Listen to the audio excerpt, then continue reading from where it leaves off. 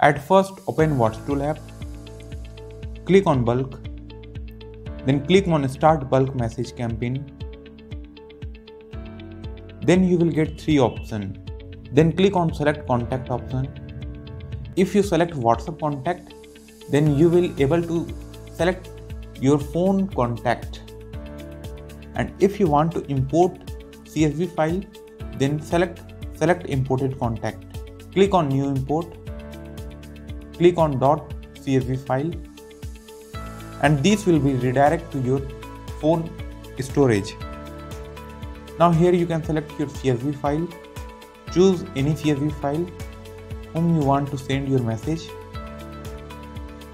give name to it, click on save and select that name, then type your message, choose account, click on next, select sending mode, you can also add delay, enable anti-ban and hit on start sending button.